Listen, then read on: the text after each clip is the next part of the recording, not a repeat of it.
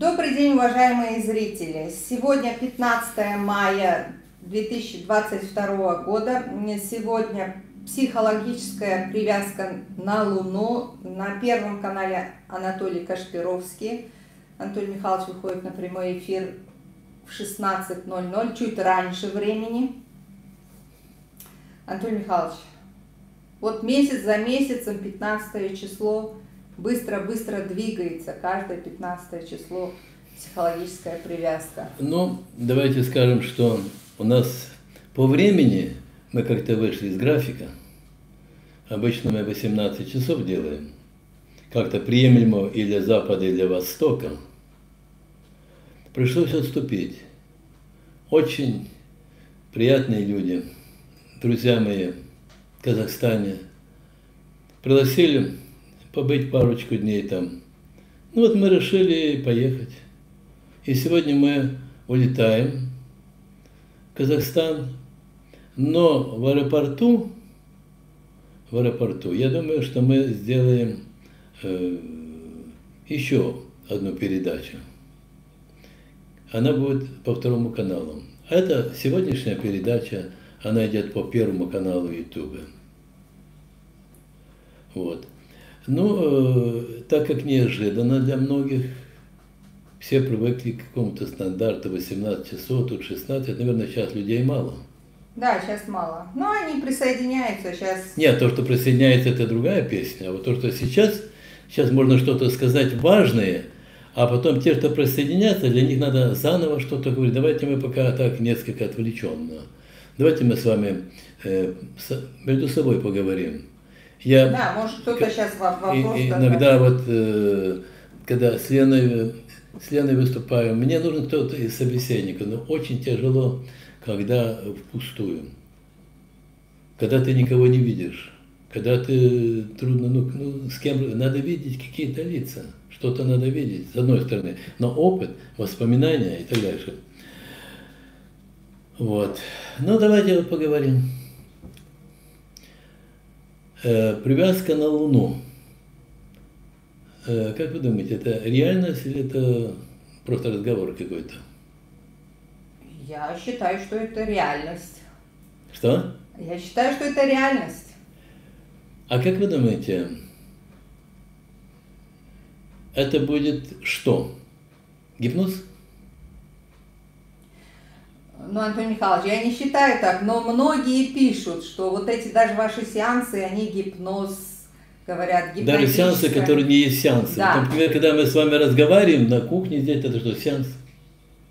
Вообще все на свете сеанс. Дайте я сначала прочту то, что мне прислали из Калифорнии. Близкий человек мне прислал. Собственно, сочинение, э, такое выражение – кстати, чуть прибавилось на два человека? Ладно. Да, 500 человек уже.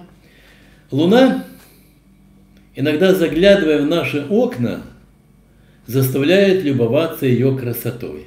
Но абсолютно неожиданно пришло время, когда для спасения миллионов людей она теперь будет заглядывать не в окна, а в недоступные тайные глубины естества человека – явившись для всех бесценным и вечным подарком. На это можно сказать, что до свидания передача закончена, потому что все сказано.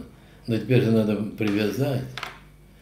Ну смотри, сколько существует человек, Луна-то раньше возникла, и люди смотрели на Луну, и стихи сочиняли, и влюблялись, и расставались, и и, и битвы происходили, и раненые были, все Луна смотрела, вмешивалась в жизнь человека, естественно, что вмешивалась. Почему?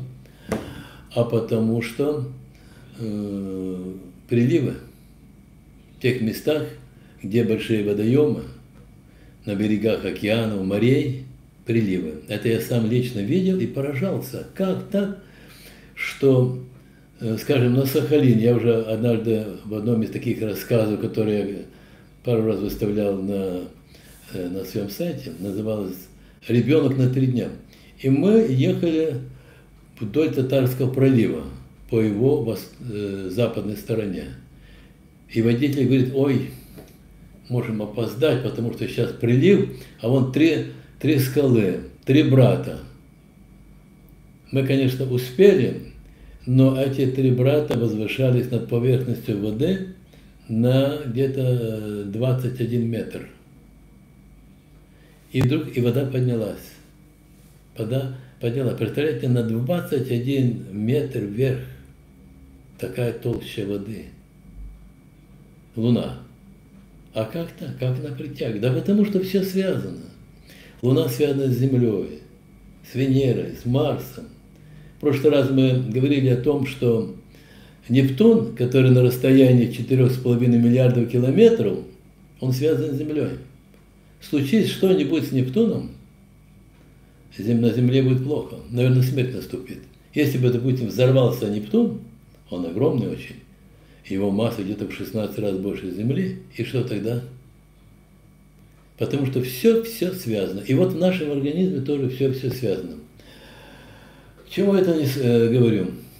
Обстоятельства заставили меня обратиться к Луне, и уже я не могу без этого быть, потому что мы имеем результаты вот этих наших лунных передач. В чем будет состоять все наше взаимодействие? Если так просто смотреть на Луну, и что? А ничего. Надо привязать к чему-то. Поэтому э, как-то так интуитивно те, кто занимался, э, скажем, попытками загипнотизировать человека или что-то сделать, я помню в Харькове, как показывали, вот я посчитаю до трех, и ваша рука будет подниматься вверх, а ты ничего не говори. Ты просто смотри на человека, уставься на него, если у тебя есть чем уставиться, если у тебя глаза есть, выражение лица, если ты похож на мужчину хоть чуть-чуть. И ты смотри, а от того поднимается рука. Нет. Он делает предусловие, привязку к чему? К будущим словам его. Каким? Да пустым совершенно. Я посчитаю до трех, и ваша рука начнет подниматься вверх. Пауза потом. Раз. И сопровождение. Ваша рука начинает шевелиться. Два. Она шевелится все больше. Вы чувствуете, как она приятно потеплела. И вообще вам стало тепло. Слова которые стали классикой, но ложной классикой. В конце концов, у некоторых рука поднимается кверху. Считается, что это человек внушаемый. А что такое внушаемый? Имеет это что-то общее с гипнозом? Ничего. Я э, уже несколько раз упоминал Ивана Петровича Павлова, ведь он был всего-навсего физиолог – у него не было общения с огромными массами людей, не было опыта э, влиять на них как-то так э, чисто психологически, чтобы них что-то происходило с физиологией. Нет, но он блистательную фразу сказал. Кто путает гипноз с внушением, тот расчищает дорогу мистики. Вы знаете, как-то так случилось, что вот наша психотерапия в Советском Союзе возникла в 30-е годы, и основателем ее был Э, Константин Иванович Платонов. Я его застал в Харькове, каком-то году было, в 60, 1963-64 году в Харькове. Он еще был живой. Тщедушный, ну, естественно, 87 лет. Но видно, что от природы тоже он такой был, ну, не того образца, какие был, не атлетического, не такого, что-то в нем э, убедительного, внушающего нет. Ну, он написал несколько книг, и в одной из книг было так. Гипноз – основной ствол психотерапии. Это как-то люди усвоили. Кто? Те, кто занимался психотерапией. Значит, гипноз – основной ствол. А кто такой гипноз в переводе с греческого? Сон. Гипноз – основной ствол. Да не ствол, Раз.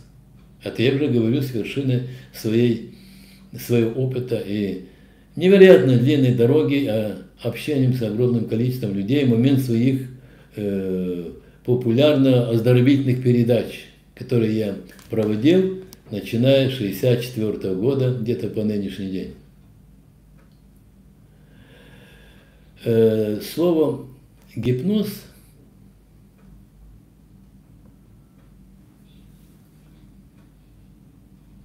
хорошая информация, да. Э, значит, э, слово гипноз, сон. Очень сильную перчатку, как для психотерапии, бросил выдающийся человек, умница, Казимир Маркович Дубровский. Тоже застал я его, ему было 80 лет. Какую же перчатку он бросил? Он отшвырнул гипноз и сразу нажил страшных врагов на кафедре психотерапии, возглавляемой в то время э, профессором Бельвовским. Он не применял гипноз для лечения заикающихся. Нет. Казимир Маркович Дубровский прошел такую сложную дорогу, о нем не мешало бы раз за другим разом говорить, и в тюрьме просидел, на него навесили э, чуть ли не звание врага народа, потому что он по линии науки переписывался за рубежом там несколько раз. И все-таки не согнулся, спокойный был, сдержанный. И заложил такую основу лечения заикающихся за один раз. Ну, я не буду на этом останавливаться, потому что есть еще лучше. За полраза. За четверть раза, за пять минут можно заикающийся, скажем, в условиях моих выступлений, избавить. Это, по-моему, к нам приезжал, когда у нас были выступления в Москве, кажется, с Новосибирска человек. Ты помнишь тогда? С заиканием с, Крас... да. с Краснодара приезжал. А, с Краснодара. Он заикался всю свою сознательную жизнь, где-то 50 с лишним лет. Избавился от заикания за 5 минут. Или за 3 минуты. Прямо сидя в зале. Такое было и до сих пор прекрасно разговаривает. Но не буду я не о Дубровском, не буду я э, дифирамбы петь, петь э, Казимиру Марковичу Дубровскому. Хорошо вспоминаю э, Платонова, но так слегка коробит книга его название. Слово как физиологический и лечебный фактор. Лечебный чего? У вас проходит псориаз, это лечебно? Некоторые говорят, а ну коснитесь этого, коснитесь другого. Как коснуться? Словом. А у вас проходит грыжа. Не пройдет. А если сказать, ваша грыжа проходит все быстрее и быстрее, а перед этим взять вас и э, начинать вводить в гипнотическое состояние. Скажите, пожалуйста, а вот вы слушаете меня, а вы могли бы кого-то ввести в такое состояние гипнотическое? Я нет. Кто сказал? На руках племянницу держала? Держала. Одну и другую, правда? А вот так укачивала их. А, -а, -а. Было? Нет? Я, они мимо меня прошли, потому что я в дороге с вами была. А -а -а. Любая мама, когда ребенок плачет, берет на руки и его укачивает. А, -а, -а поет песенку, он, дитя засыпает, и все. Не, не, это, это все просто делается. Но является ли состояние сна спасительным, я не ухожу от темы привязки на Луну, но я хочу выкорчевать его или вырвать из голов людей слово гипноз. Гипноз, внушение. Гипно, внушение это другое. Это другое, Антон? Конечно. Ну вот тут написали, почему говорят, что слушающие Кашпировска внушаемые. Я слушаю, потому что лично знаю людей, которых он излечил внушаемость здесь ни при чем. Э, когда люди начинают нырять не в свою сферу, даже тот, кто написал, так лучше не ныряйте. Я, например, не, не выхожу сюда к сварщикам, рядом с нами дом строится огромный, и не, не даю совета, потому что я не сварщик. Я никогда не дам совет хозяйке, которая готовит какую-то еду. А мне дают советы и начинает свое придумывать, что угодно.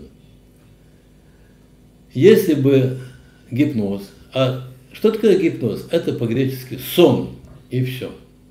психотерапевты, особенно когда они неопытные, а во-вторых, когда у них э, нет своей логики, нет видения вечности, понимания общих законов, они могут говорить про, про гипноз, про внушаемый. Внушаемый – это кто быстро заснул. Если ты очень устал, едешь за рулем, и ты, э, дорога тебя, так сказать, гипнотизирует, ты можешь заснуть на этом основанной аварии, но это не значит, что не внушаемым. Если бы, если бы у нас было что? Что если бы вы все признаете, что гипноз основной ствол психотерапии, как писал Платонов, вот, я думаю, что он вообще нигде, кроме Харькова, не был. У меня такое впечатление. Это безобиднейший, интеллигентнейший человек, который никогда не был гуще людей каких-то, где приходилось выживать, что-то навязывать свое или избегать навязывания со стороны. Нет. Весь мир спит ночью, хочешь не хочешь. А почему столько много больных? Значит, сон не спасает. Так зачем к нему обращаться? Гипноз – это сон. Ой, меня не берет. Что? А я не заснул. Ну хорошо, допустим, вы заснули, но это не значит, что вас пройдет лысина.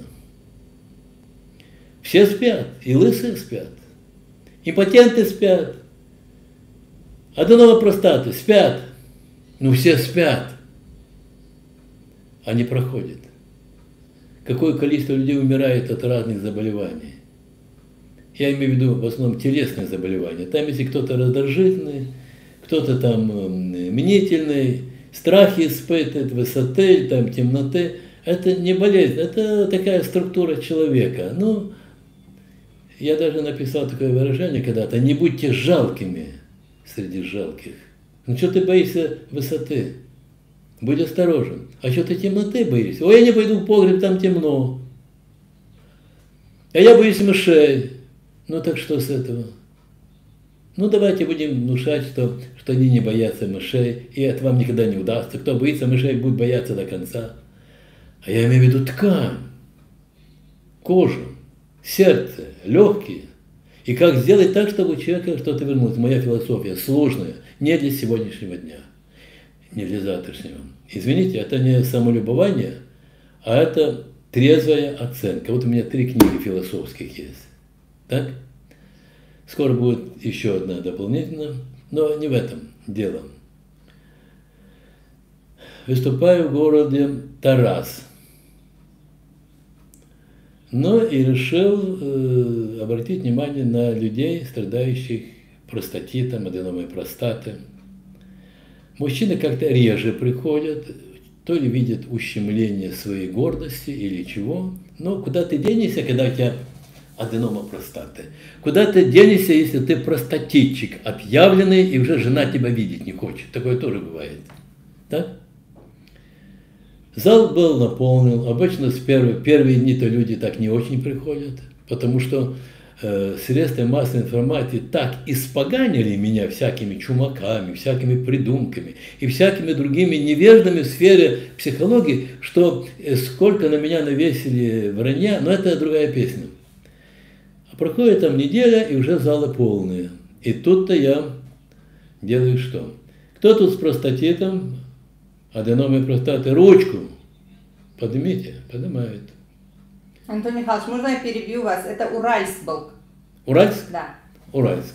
А, а как будто в Таразе такого не было. Разве не ну, падали мужчины? Но я помню четкий эпизод, когда на сцену вышло примерно 100 человек. Да. Они стояли в шеренгах и образовали квадрат. Вот так, если так подумать, вот стоит шеренга, один, два, вот так, и на сцене. Я перед ними. Что я сделал? Я сел спиной и спиной к ним.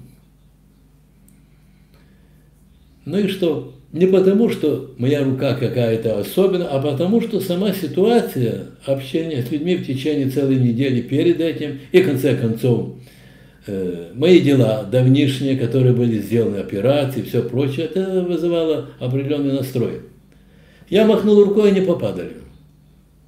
Они падают э, друг на друга как угодно. Пишут, а руку выставляет. Они не заснули. Они не спали.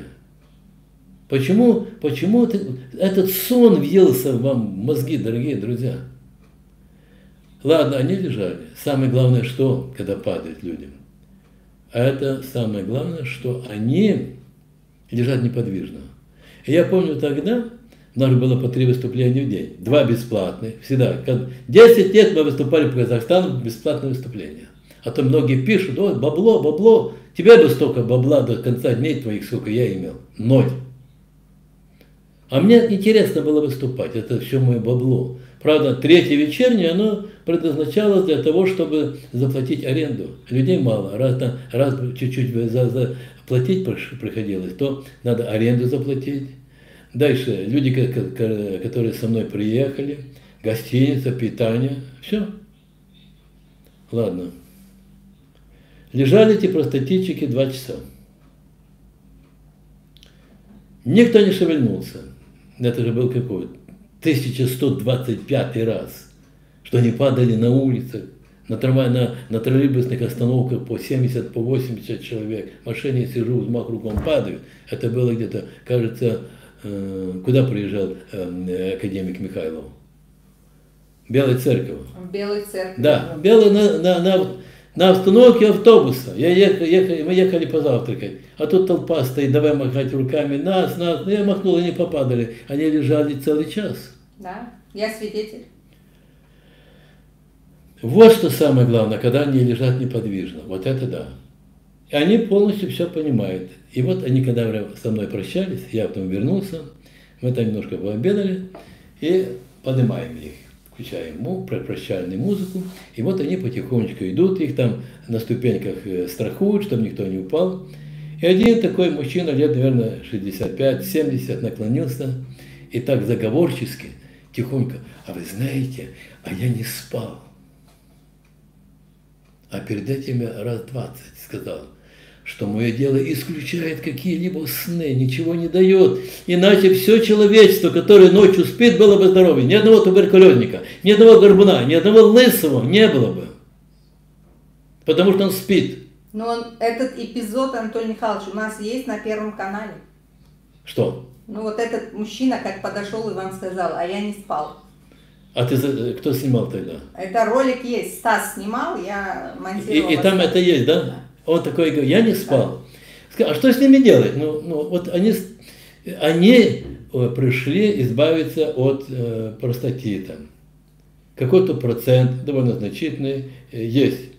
Сколько угодно было таких, которые избавились от аденомы и так дальше. Редкие, потому что простатит, диабет – это, пожалуй, самое сложное, что в моей практике есть.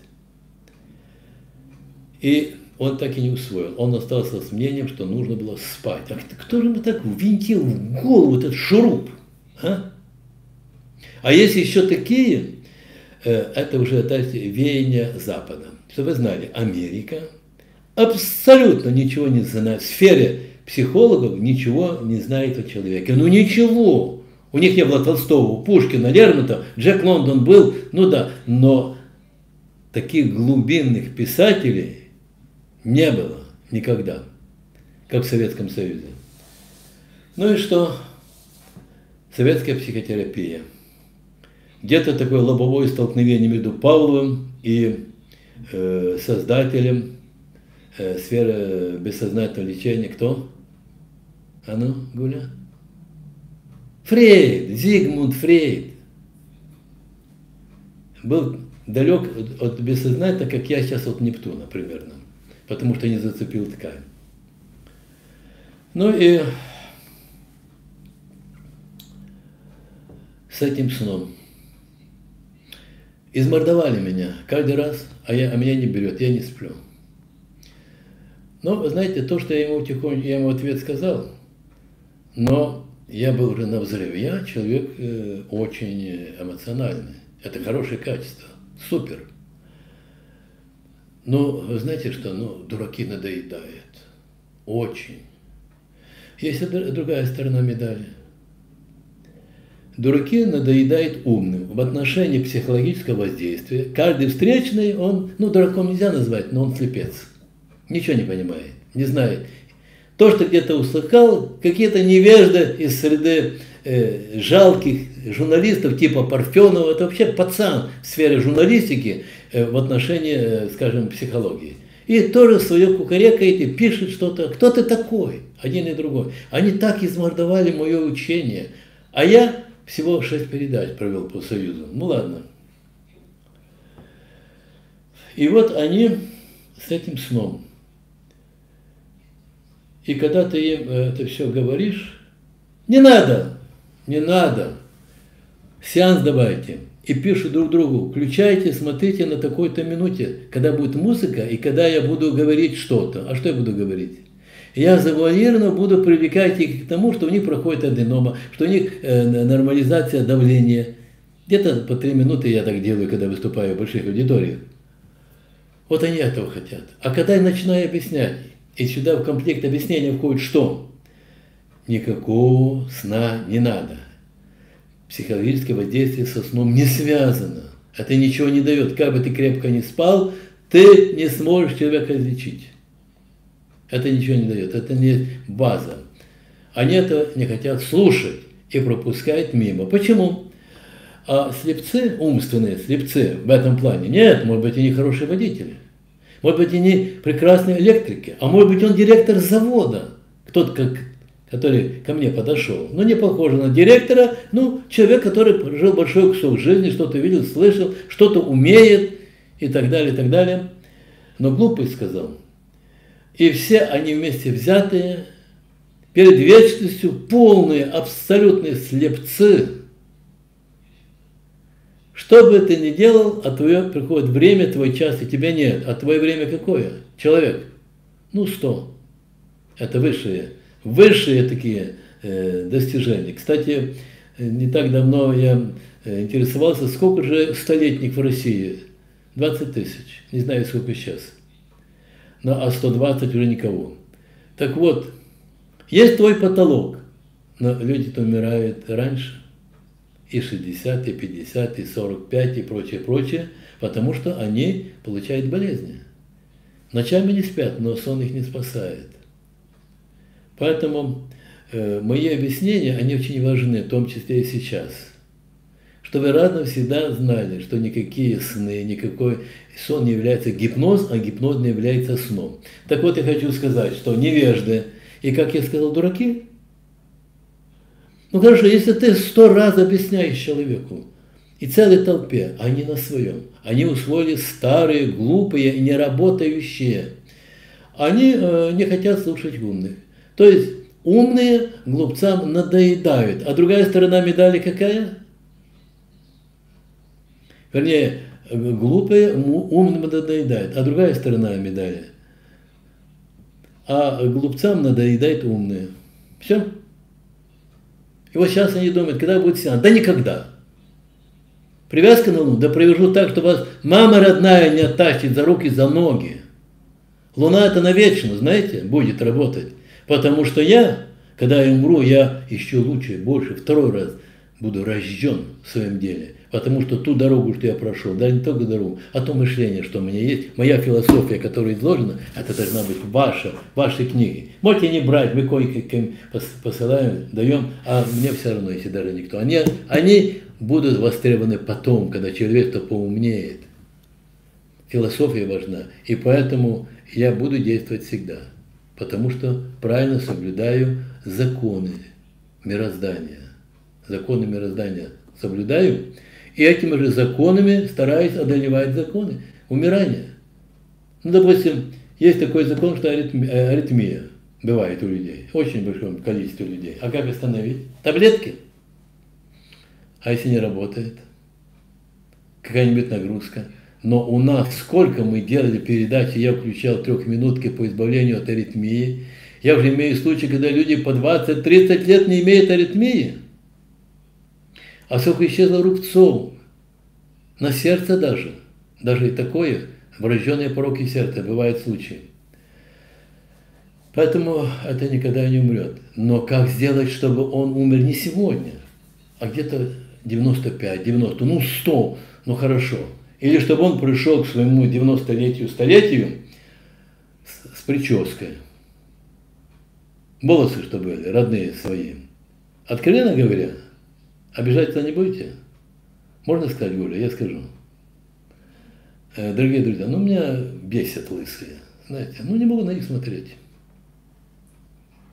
Раздраж, раздражает, ну, наверное, у меня такой вкус дурной. Ну, представьте себе лошадь без гривы. Вы сядете на такую лошадь, вы захотите лошадь? Лошадь без хвоста. А цыгане покупают лошадей. Сразу открывают ей рот и смотрят, зубы есть или нет. Нет зубов, не берут. А вы, девушки, охотитесь за беззубыми? Вам нравятся беззубые? Нет. Потому что уже от такого производителя его наследственность будет надавать, что дети тоже будут где-то в сторону такой. Генетика такая. Поэтому пускай не обижаются те, кто лысоват, мало ли что где-то во флоте был, облучение и прочее, но они меня раздражают. Особенно в сфере психологии. Как только я вижу лысого психолога, вот, ну, думаю, ну зачем ты вышел? Зачем ты там несешь ахинею? Знаете, недавно один э, назвал, мы еще к нему, мы вернемся к этому человеку, его никто не знает, но он сказал, Кашпировский, 30 э, лет назад, не 30, а 34, трансовал всю страну. Что такое трансовал? Я сказал, что в Америке в отношении психологического лечения сплошной ноль. У них нет. Они выходят, болтуны. Помните, я недавно приехал один и рассказывал, как разбогатеть. Он за несколько, не огромную сумму, несколько миллионов взял э, от, от дураков. Пришли, чтобы их научили, как разбогатеть. И платили большие деньги за билеты. Молодец он. И кто разбогател, он один единственный среди них, который разбогател. Кто? Ну он же. Ну? Он же один единственный. А, единственный, кто разбогател. Но он и до этого имел опыт. Он красиво разговаривает, очень убедительно, умеет говорить э, эмоционально. Он не делает так, как некоторые делают. Некоторые психологи делают, знаете как? Ну как можно влюбиться в этого человека? Как можно идти за ним, вот сидеть и так далее. И все, знаете, и руками вот так. Если чумак вот так делал, ну, черт с ним, с этим чумаком. Но, а вот это, а, я знаю нескольких, только выходит, что-то рассказывает и все. И люди пишут, ой, вас Бог послал, Бог послал, а вы его почему не пошлете туда, подальше? Бог послал все на сцену, никто никого не слал. Вот так вот. Да еще лысые. И все, и люди этих слушают, и глупость нарастает. В Америке э, по поводу психологии панеля. Вот такие, как этот человек приехал и, и всех надурил, потому что никто же не разбогател. Он красиво говорил, говорил, как надо поступать в тех других случаях, но кто-то запомнил. Если нет твоего жизненного опыта, нет того острого глаза, ничего не будет. Так поэтому не, не зря там и появился а э, Советский Союз клюнула на этот крючок, думая, что там очень жирный червяк. Никакого червяка не было. И возник эриксоновский гипноз. Представляете? Я не хочу умолять этого человека. Я ему сочувствую. Его нет давно уже. Он был сам болен. Он сидел в кресле. Вот. Он э, цвета различал очень был изношенный изнутри, отражалось снаружи. Никакой такой мужественности не было, никакой убедительности. Просто так бла-бла-бла-бла-бла-бла, такое не, скучное. Я не хочу умолять его. Но это назвали эриксоновский гипноз. Клиники не имел, ничего не имел. Никого же и не вылечил практически. Уговаривал, что мне было страшно. Ну, как обычно сейчас э, очень много психологов развелось. За три месяца ты психолог. И несут каждый свое, что может. Бла-бла-бла, как, как говорят. Эриксоновский гипноз. И он на фоне всех остальных болтунов вел слово транс. Что такое транс? Голя, что такое транс? А ну, зрители, напишите, транс это что? Сейчас напишут. Пишите. Кто как думает. Транс. Ну, надо понимать так, что это как не рыба и не мясо. А что такое не рыба, не мясо? Что это такое съедобное или несъедобное, но не рыба, на вкус берешь не рыба, не мясо. Так это. Не сон и не бодрствование. А если ты уставший, так это что, уже транс? Нет. Кашпировский 30 лет трансовал. И этот недалекий человек Ну, Так охарактеризовал, что это было трансование. Какое? Посмотрите передачи. Кстати, он, когда я уже выступал, то он где-то только недавно оторвался мимо горшка. Да, ему где-то 10 лет было.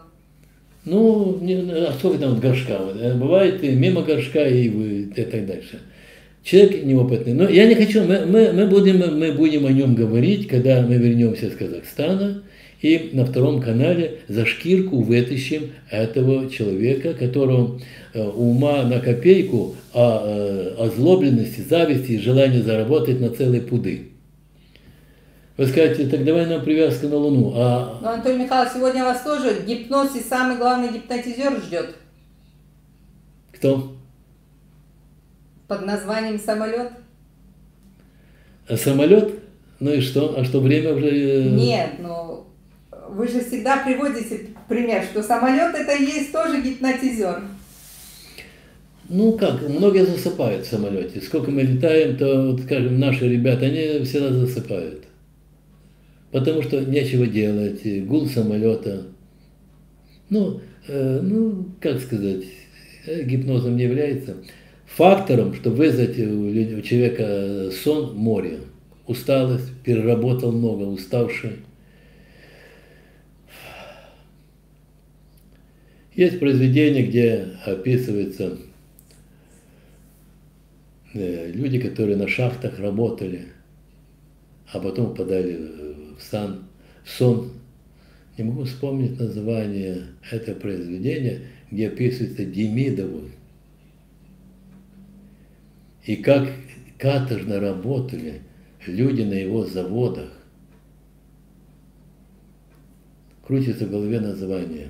Пусть напишет Карпировский, уже забыл. Но давно, давно это читал. И э, один из Демидовых, Демидовых был шутник. Поэтому он подловил на слове одного рабочего. Тот говорит, эх, упал бы и не спал бы неделю.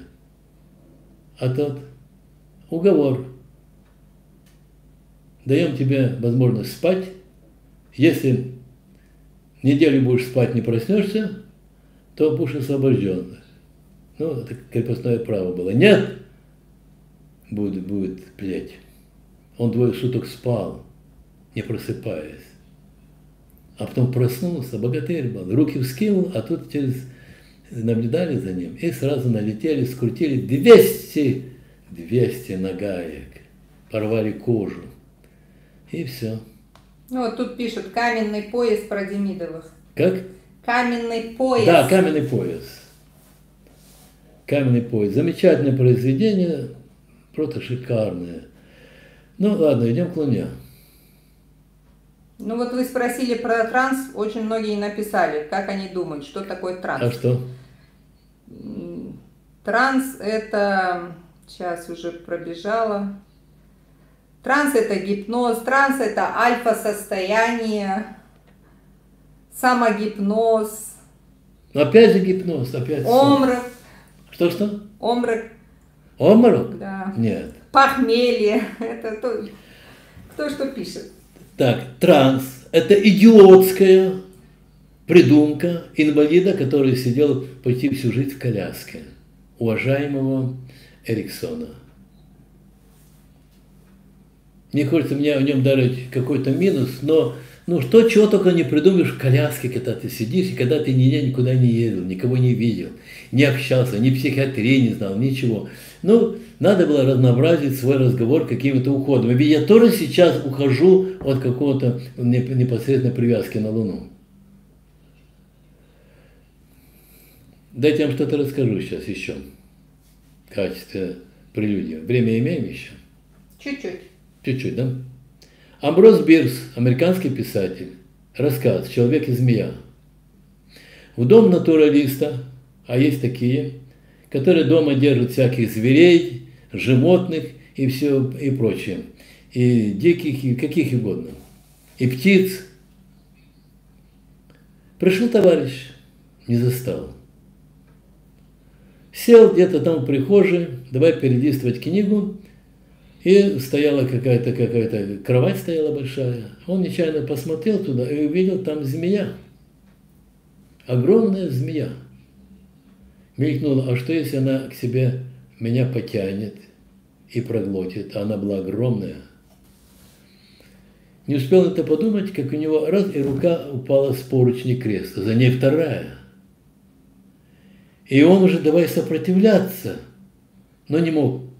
Он падает на пол он на четвереньках приближается к этой змее. Не дополз. Скончался. Умер. Через какое-то время приходит хозяин. Какую картину видит? На полу лежит мертвый друг. А под кроватью чучело змеи, вместо глаза которой были пуговицы от башмаков. А как это назвать? Сложные пути, сложное название, только давайте пускай в нашем лексиконе навсегда будет отсутствовать слово гипноз, а еще больше транс. Это транс, это такой нарыв, это такой прыщ на теле истины. Поэтому, когда вы будете слышать слово транс, а наши быстро подхватили. Почему? Америка. И взяли быстро наведение транса. Спросили бы покажите на практике, наведите транс на кого-то. Что значит транс? Не признаю я этого. Так этот недалекий человек, вот э, очень живописный со своими такими вот жестами, вот такие вот жесты, отвратительные жесты, надоедает страшно. Даже не, не понимает, что он этим может раздражать. Любое однообразие раздражает. Женщины смотрят, думают, а кому ты нужен такой вот? Вот, раз-раз. И лысина на, на, на три четверти головы. И все. И молодой, на 40 лет почти моложе меня. Привязка на Луну. Луна сейчас это есть то, от чего я спасаюсь. Ну как спасаюсь? Она вытесняет во мне все на чаше весов. Мечты есть, я уже не раз говорил. А самое главное, что я в силу обстоятельств вынужден был туда отправить, ну, конечно, условно говоря, свою дочь. И поэтому, когда я кому-то подписываю книги, я подписываю тут согласно томам. Вот первый том, первая часть, это можно назвать томом. Такому, такому, такому-то, и я расписался, дата. Вторая. А вот третья, последняя, вот эта, которая зеленая, такому-то, такому-то пишу, или таким-то. От нас с Леночкой, лунной Еленой и роспись. Это уникально, потому что тут есть фотография. Вот это. Видно хорошо? Да, очень видно хорошо. Луна Елена. Папа, я не буду заниматься твоим делом. Нет, Канаде сказала. Лучше на Луну меня отправь. Лучше на Луну, но никогда не буду заниматься. А тем не менее, э, своего знакомого излечила от такого страшного заболевания с глазами. Ну, он не один был в ее. Да. А вот Альбина, если она сейчас смотрит передачу из э, Калифорнии, из этого, из Майами, она тоже приводит пример онкобольного, который смотрел кассеты о сопровождении Лениного, так сказать, комментарии и так дальше, и так дальше. Поэтому Луна. Мы уже имеем довольно большую статистику о чем? Что люди э, смотрели на Луну, слушали ее музыку, как сопровождающий фактор, и избавлялись от чего?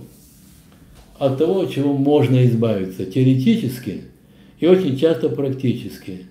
Это, прежде всего, э, излишек соединительной ткани.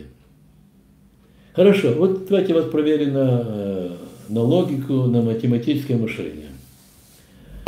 Как вы думаете, что такое мозоли на руках? Допустим, вы подтягиваетесь на турнике – или там э, занимаетесь гантелями, или мало ли что, какой-то труд совершаете. Ладонь у вас какая?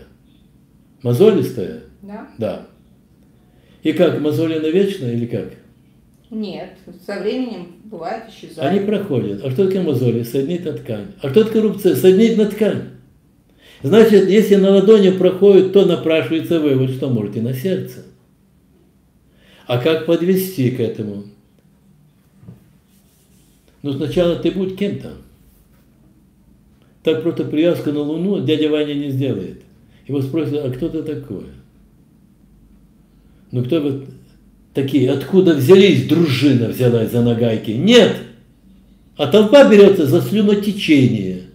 И каждый, никто, не имеющий опыта, зачастую образование воспевается. Ой, слава Богу, вы к нам пришли, вас Бог послал. Бог посылает всех куда? В яму. И никуда больше. Вечность. Но поют песни.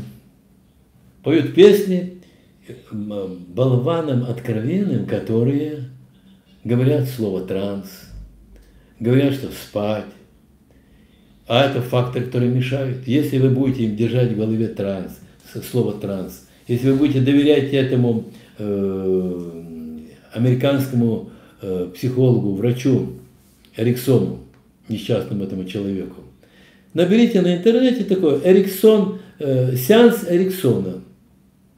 И больше вам комментарий излишний. Я не хочу тут как-то злорадствовать, но мне искренне жаль, как он, бедный, мучился самим собой – коляска, плохое зрение и так дальше. Но когда вы посмотрите на то, что он говорит, это называется эриксоновский гипноз, то ну, вздохнете и тоже пожалеете его. Но тем не менее, наше общество быстро, ах, Америка, Америка, давай сюда, они же умнее, да не умнее они. Что касается психологии. Психология в Америке. Наберите в интернете, вы увидите сотни всяких дядечек, прохаживаются на сцене туда-сюда, с привкусом религии, иногда без религии, и несут ахинею, болтают, болтают, а те разину в рот смотрят. Вот и все. Знаете, афоризм родился. Толпа рождает уродов. Уроды рождают толпу. Понятно? толпу последователей таких своего уродства.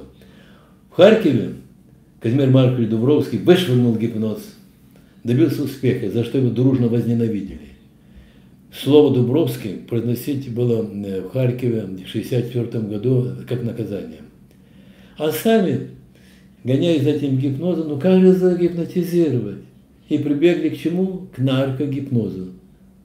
Откровенно вводили аметал натрия, и на фоне ведения внутримышечного ведения, внутривенного ведения металлонатина говорили, а вам приятно, вы тяжелеете, а вы засыпаете, спать. Все, хватит, а теперь побегайте туда-сюда.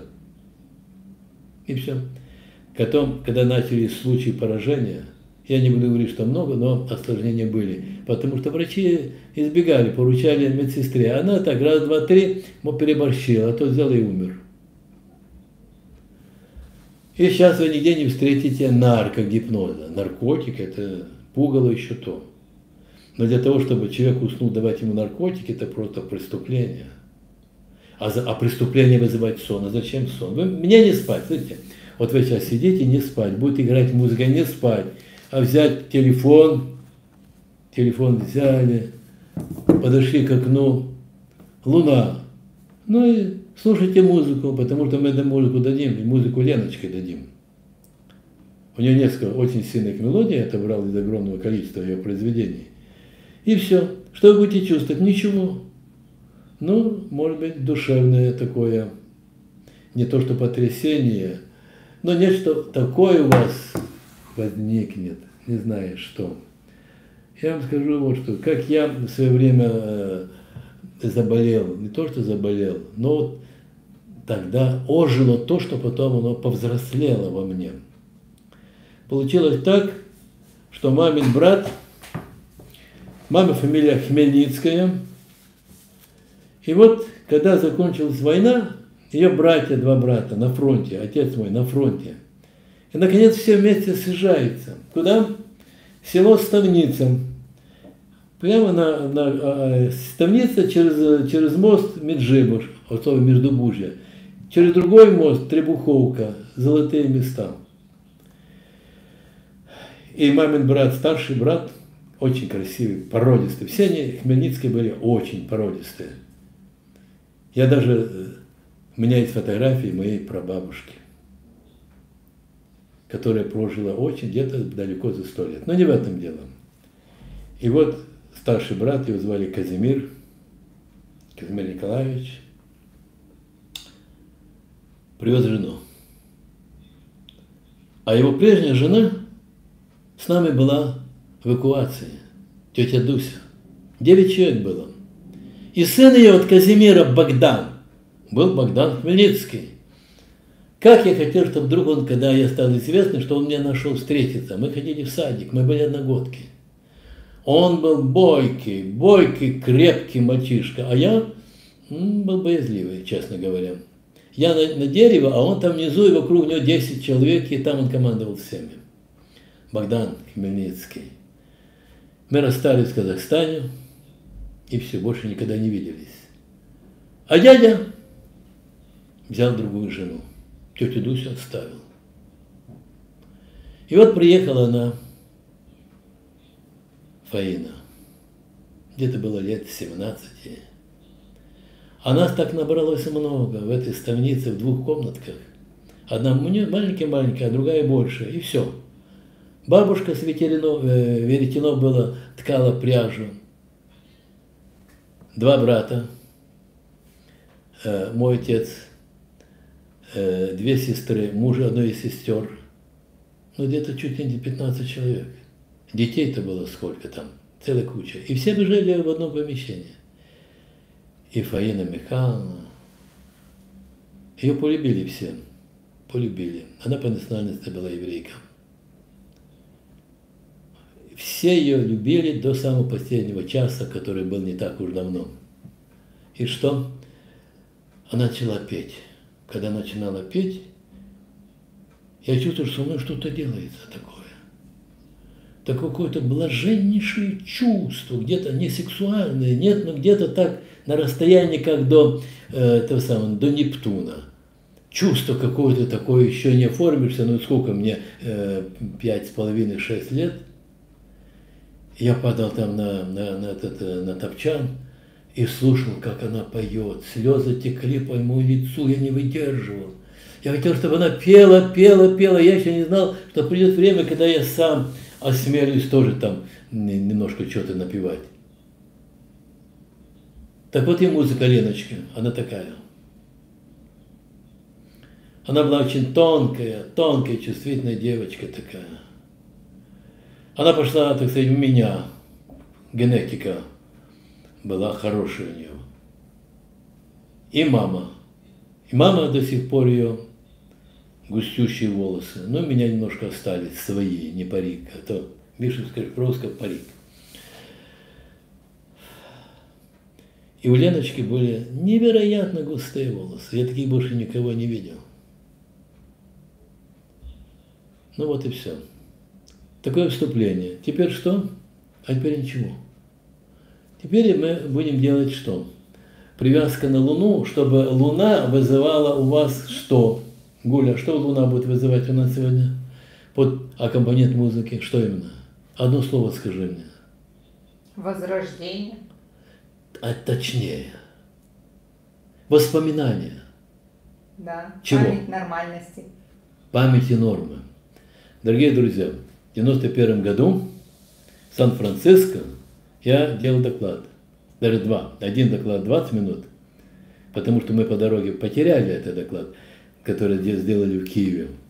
А руководством это был Международный конгресс психологов.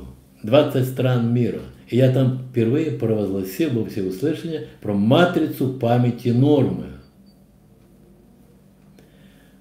Это заинтересовало, и мне сказали, да, вы тут по-английски плохо, вам помогали по-русски, давайте сделайте доклад за ночь, и чтобы завтра, завтра мы даем вам час, и я час, за, за ночь мы сделали доклад заново. Вот. Э, Сергей Дмитриевич Максименко, который со мной профессор, академик, и этот доклад был принят. Так что матрица памяти нормы, воспоминания матрицы памяти нормы собой. А какая матрица памяти нормы? Какая? Ну вот слепой женился на слепой. Но матрица-то в нем сидит или нет? Только не матрица Горяева пустословия, а запись. Вот А вот это, допустим, книжка, она имеет матрицу, Гуля имеет матрицу. Какую? Ненормальности. Нормальность. Есть закон, что она может гореть. Может? Может. А где этот закон? В норме. В, ее, в ее ткани этой книги. Она может гореть. Дальше. Она, если ее порезать на части, несъедобная. Ты не поправишься, ничего. Это тоже память. Закон такой есть. Это, это бумага, ты не, не станешь сыт. И это тоже лист бумаги. А, а, закон, он не вечный, это лист бумаги. Он тоже может гореть. Его можно разорвать в клочья. Правильно? А где закон? Где закон, что листок может гореть? Вот мы часто идем около дома, э, стоят э, клумбы, цветы. Одни цветы красные, другие голубые, э, листья. Зеленый. А где записано? А где записано это зелень? Ну почему? А как делается, вот деревья стоят, из чего они сделаны? Древесина – это твердая вещь. С чего она берется? По какому закону? Давайте вспомним, знаете кого? Менделеева. Я считаю, это один из самых нужных и выдающихся людей, который был за все время истории, не говоря уже о э, Никола Тесла, который номер один. Ну что, будем вспоминать нормальность. Чего? Только неосознанно. Нормальность глаз. Если слепые поженились, то дети рождаются какие? Зрячие, правда? А если безногие женились на безруких, то дети с руками рождаются ногами. А вы кто? А что с вашим желудком? Не тот. Но записано, ну возьмите, женитесь, или найдите какую-нибудь девицу, делайте ребенка, и у него будет желудком хорошо.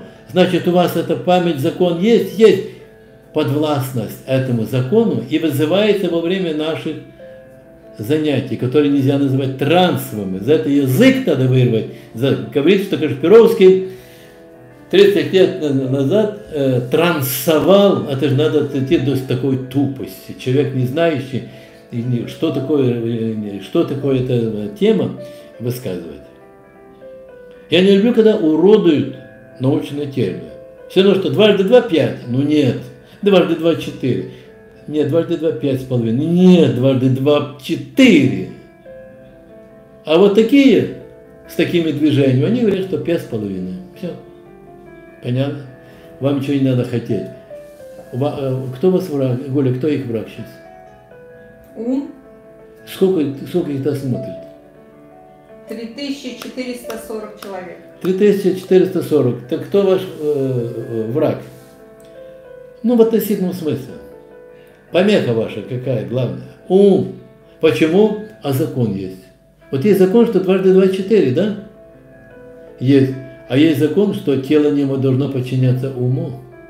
А если будет подчиняться, то что будет? Вы начнете этим пользоваться. А вы, может быть, себе сделаете что? А может быть, вы превратитесь, вы мужчина, в женщину. А тут стоп! Мироздание говорит, стоп! Начинает Нептуна и глубже, за миллиарды километров, стоп! Закон. Ум телом владеть не может. Механические движения грубые, да, это механическое. А микроэлектронные движения никогда. Популяция человека погибла бы. Поэтому не хотеть, не стремиться, не желать. Почему? А потому что вы хотите, желаете кем, чем умом.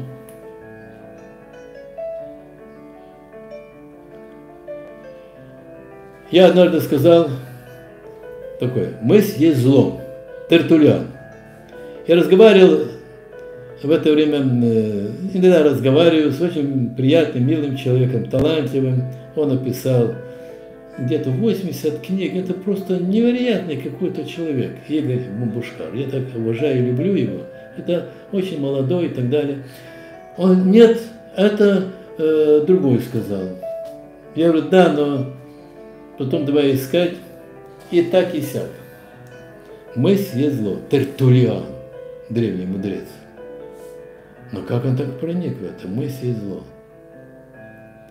Да, в одном, в одном плане хорошо было бы, чтобы ты владел собой. Ты бы сделал бы что? Убрал бы себя болезни.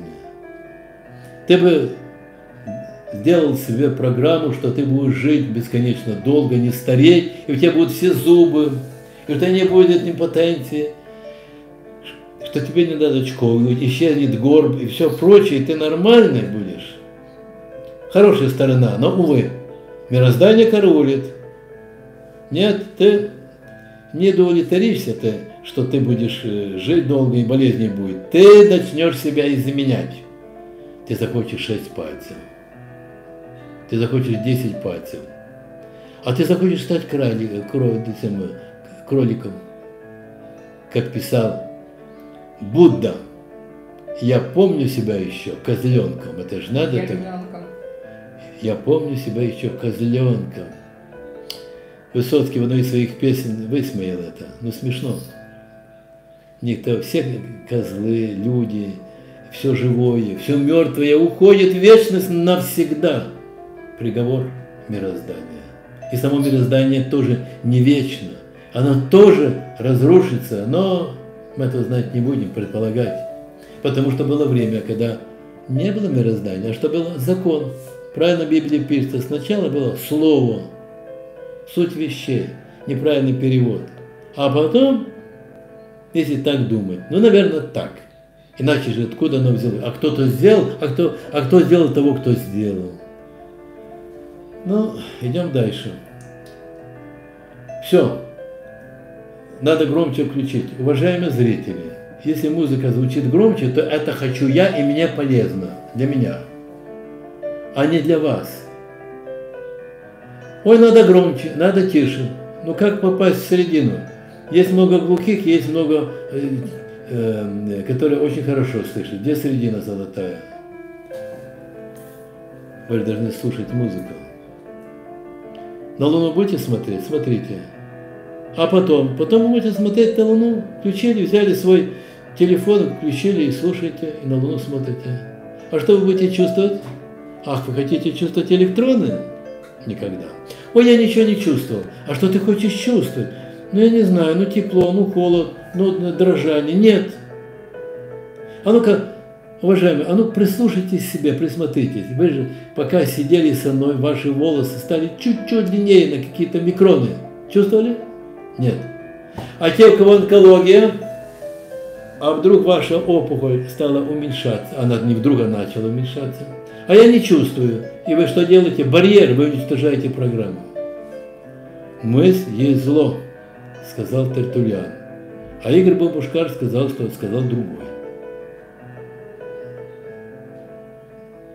Есть такие сподвижники в сфере науки, в сфере познания человеческих глубин.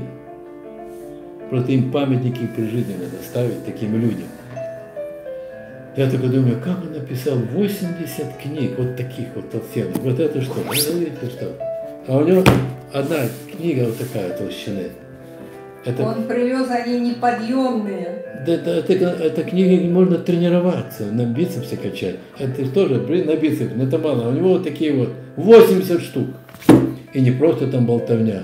Там такие ныряния в историю, в глубины. Э, вспоминаются разные люди, которых никто не знает, забытые имена, а он их возрождает. Я, я просто поражен. Теперь следующее. Помолчим. Красноречиво. Помолчим. Лунная привязка будет работать каждое 15 число. Никто не спрашивает, почему 15 -го. М? Народ. Или вы уже э, в трансе? Нет, многие знают. 15 день рождения Леночки моей. Вот это меня держит на белом свете, и не только это, а сама Луна меня очень заражает интересом к ней.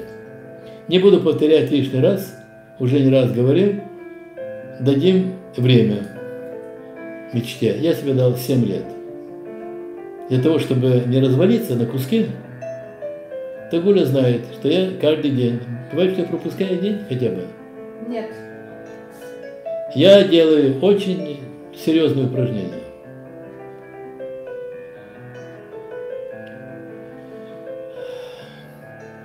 Одни э, связаны э, на функциональную устойчивость, дыхательная система и давление.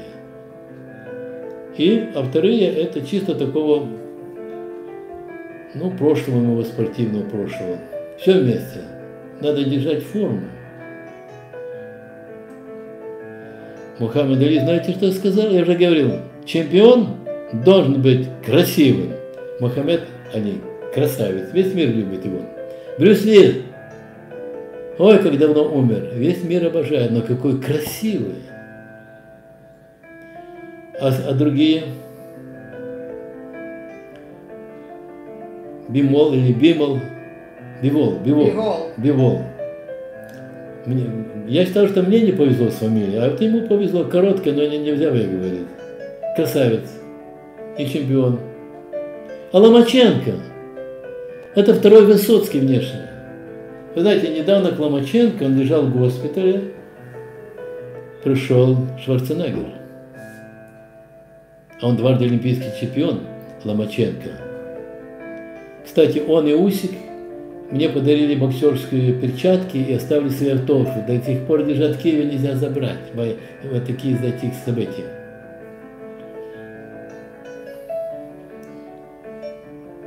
И сам Шварценеггер пришел. А Шварценеггер какой красивый. Ван Дам обожаю. Считаю величайшим актером.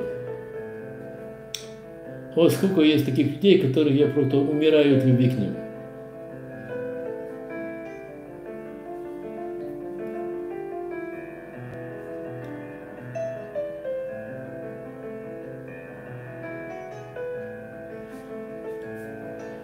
Потому что я очень влюбчив в красоту. Меня красота притягивает, красота тела.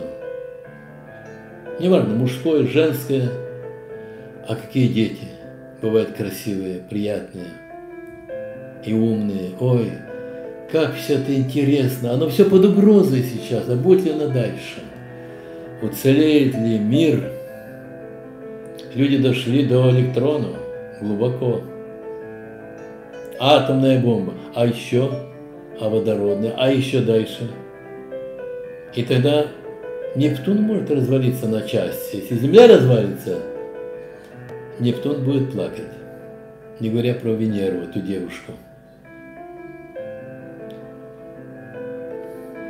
Я романтизировал свои выступления и все. Сколько раз я бывало, вот скажем, в Ялте выступал, проводил выступление и в санатории там был, Донбасс.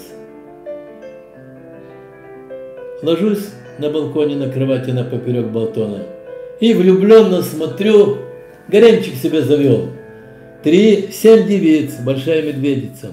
Как они издевались надо мной, не передать, особенно одна. Я их превратил в живых людей. А как и мне подкалывали – и стимулировали, а потом как радовались. Большая медведица тоже иногда, смотрите на нее.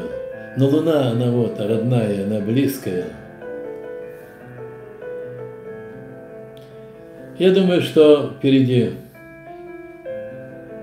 у подножия, я, я у подножия, знаю, что у подножия самого высшего, что может быть, что никогда не было и никогда не будет, если не состоится. Не, не буду говорить, что. И все во благо людей. Потому что если достичь своего пика в своем деле, ткань это уже такой вот. И то я добился чего? Мы же дистанционно, правда? А если больше дистанция? А если на все времена? Много всяких если. Когда будете смотреть на Луну, не загадывайте, ой, чтобы меня прошло. И не смотрите на мой палец, ой, мой палец делается такой. Кстати, одно слово скажу.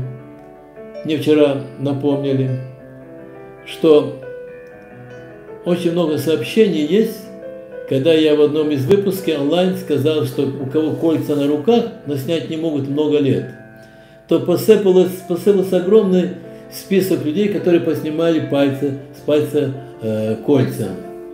Потому что пальцы имеют тенденцию становиться нормальными. Слушайте сюда. У меня есть одна очень хорошая родственница. Я так люблю повторять ее слова, она на Украине живет. Она постоянно слухайте сюда. Так слухайте сюда. Маша.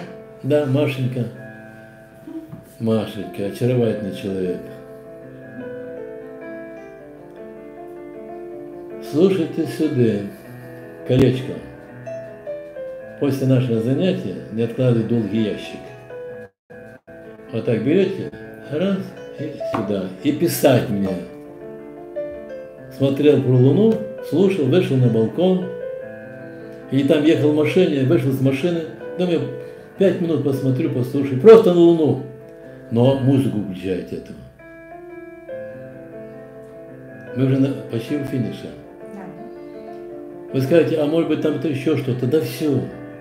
Что у вас проснется, то и будет. Дайте организму самому решить, что должно стать больше, что должно стать меньше. Пустите свободное плавание. Только не дай Бог гипноз, не дай Бог сон, не дай Бог вера, люди верят умом. Не надо мне верить, я вас верю. Глина не верит скульптора, а скульптор в глину. Мы не будем нарушать этот закон. А бумага мне верит? Нет, она не имеет такого органа.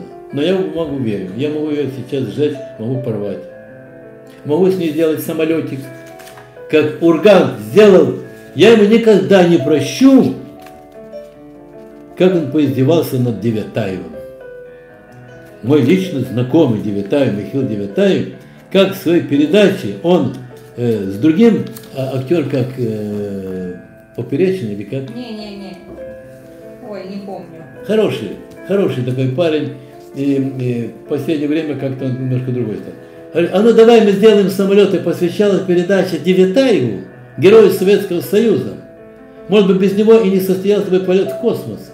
Не зря Королев с ним туда ездил, на этот остров Узидом, где были разработаны э, проекты ракет Фау-1 и Фау-2. Прилучный вот. Прилучный.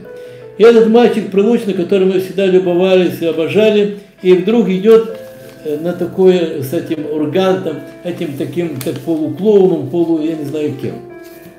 И они делают такие два больших самолета. Я стоял, думаю, что он творит? Что он творит этот? Потом запускает вот так вот. Хи-хи-ха-ха. Да это надо такой пинка давать, чтобы он летел аж туда до э, э, то самое, до этой самой далекой планеты. Ну, наверное, пришло время, что его убрали с первого канала. Убрали, не убрали, но Ну, Пока нету его эфиров. Он талантлив, он талантливый человек, но вот эта черта язвить, подкалывать людей, ну ладно, пускай про меня ты пишешь, что Кашпировский лечил, в кавычках. Только слово Кашпировский не в кавычках. На мое имя переживут и мое дело твоих пра пра пра пра пра пра 200 тысяч раз правнуков переживет. А тебя никто помнить не будет. Клоуны-то долго не помнятся.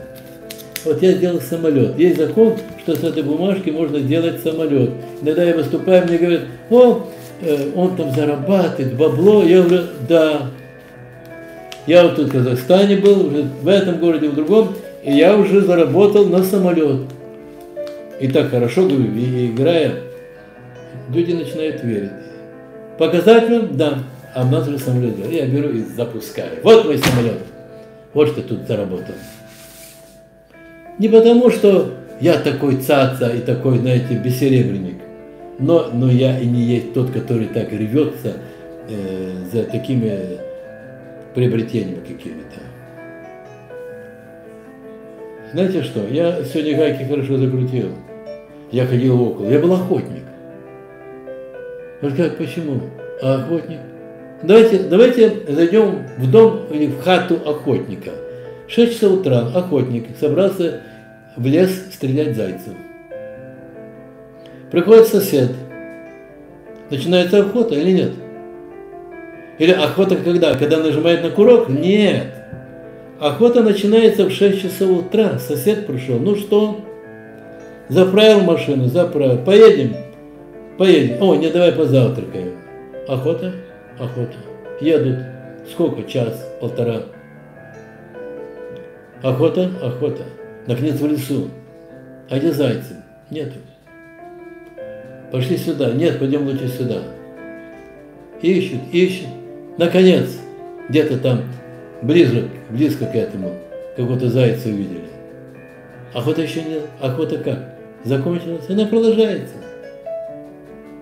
А когда они возвращаются назад с пустыми сумками, охота еще охота. Они обсуждают, ах, надо было так, надо было сяк, вот мы лишнее выпили, надо было не выпивать. Видите, сколько охота длится? Целый день. А может, может и во сне дальше а? длится. Как? Может и во сне дальше длится. А во сне, да. Ну, во сне то, что мне выступления снятся, это сто процентов. Сто процентов снятся. Вот, спортсмены нас часто снятся, потому что часто смотрю их, обожаю. Ну что, дорогие друзья,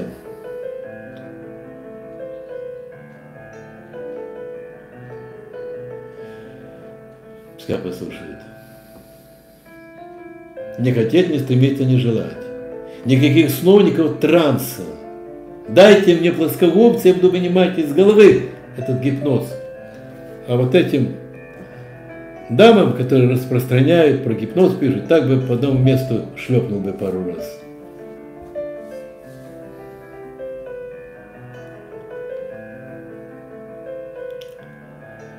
Но не буду смотреть, пишет, пишет а о 16 можно, ну смотрите, ну не каждый день, но можете посматривать. Ой, я не попала на прямой э, эфир. А это что, кривой эфир? Все эфиры прям, прямые. В записи то же самое, но абсолютно идентично. Понятно? Книги заказывайте, чтобы были полноценные, чтобы у вас результаты были полноценные.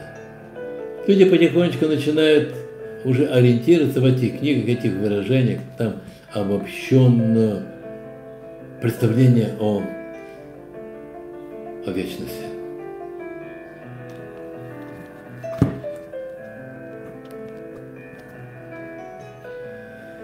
Но будем еще возвращаться к книгам.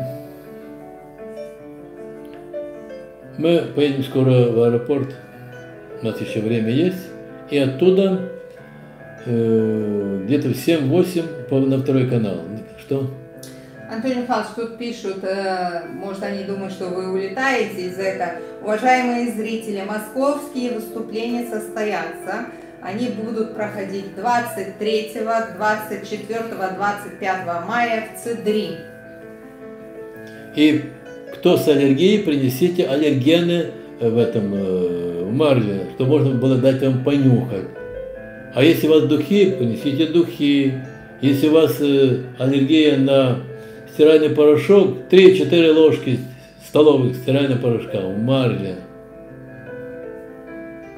а если аллергия на мужа? Есть такое? Есть. Я знал одного, у которого была аллергия на собственную фуражку.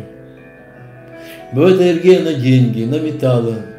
На доллары именно. На, на, на что угодно. Может, на меня есть аллергия. Нет, на меня аллергии нет. Потому что вы чувствуете, что я с вами искренен, свободен и не соблюдая какого-то такого канона, только вот это спать у вас прошло. Стоит так сказать, ничего не пройдет, а так пройдет многое. Ваш организм будет диктатором вашим. И сдел... Я знаю, что он диктатор. Сначала сделал вам минус, теперь будет плюсы. В ожидании плюсов и в ожидании ваших комментариев. Я часто комментирую комментарии. Сегодня с 4 где-то до, до 7 комментировал комментарии. Ну, немножко, так сказать, а, Тут резко. спрашивает, у меня аллергия на солнце, как я принесу? Очень просто. Вы будете стоять, к вам подойдет мой человек, э, возьмет фотоаппарат, вспышка, и все достаточно. Врасплох не застанете. Мы уже прошли и на солнце, и на тьму, и на что угодно. Всего вам хорошего. помолчим, пускай она играет, а мы уже прощаемся, да, говорю? Да, если все удачно мы пройдем, все коридоры в аэропорту, то мы на втором канале выйдем в эфир. А вы знаете, что в прошлый раз, э, мы еще неделю назад больше. Нет, три недели назад мы уже мы, сделали Мы уже взяли билеты, потому что это наши очень ценные друзья в Казахстане, очень ценные. И тот раз и не пропускает. Нашли в меня, что э, я не, не выездной, что я имею долги. Какие долги?